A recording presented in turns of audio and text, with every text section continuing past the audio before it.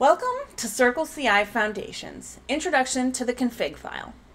At Circle CI, we believe in configuration as code, which means our entire delivery process from build to deploy is orchestrated through a file called config.yaml. This config.yaml file lives in the .circleCI folder in the code repository's root directory. The CircleCI config uses the YAML syntax, so outside of following the native YAML syntax requirements like whitespace indentation and hyphens for lists, our config file, it needs a couple Circle CI specific syntax elements to be a complete, practical delivery process. A simple but functional Circle CI config includes at least one pipeline, which encompasses workflows, which then orchestrate how and when jobs are executed. While you don't see the keyword pipeline in this example config, a pipeline represents an execution instance of the jobs and workflows specified in this config.yaml file.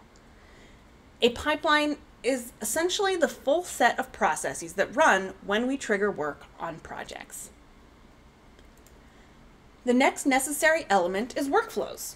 Workflows define how and when a job is executed. In the example here, there's one workflow called build test that specifies a list of the jobs to be executed within this workflow. In our case, there are two jobs, run tests and build, that will both be run as part of this one workflow. The final element every config needs are jobs. Jobs are the building blocks of the config file. They include all of the steps to execute commands and scripts our example has two jobs called run tests and build. The run test job sets up the environment and then, as you might have guessed, runs the test suite. The build job sets up the environment and then, again, you might have guessed, it builds the application. Jobs are the basic unit of a config.yaml. Workflows then define how and when those jobs are executed and pipelines represent an execution instance of the workflows and their jobs.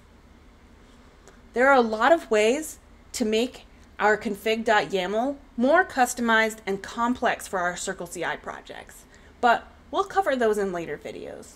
So stay tuned for more foundations and check out our documentation and our community forum. Thank you!